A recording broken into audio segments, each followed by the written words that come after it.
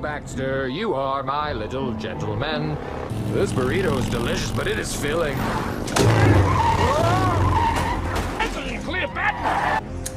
What the hell, bro? Hello, neighbor. Did you just throw a burrito out your window? I believe I did. What are you high or something? That's my chopper you just thrashed, bros of. Easy, compadre. If you want to throw down in fisticuffs, fine. I've got Jack Johnson and Tom O'Leary waiting for you, right here. Oh, You destroyed the only thing I love. What do you love?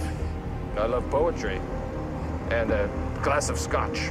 And, of course, my friend Baxter here. Well, guess what? Now this is happening. Excuse me. Excuse me. What are you doing?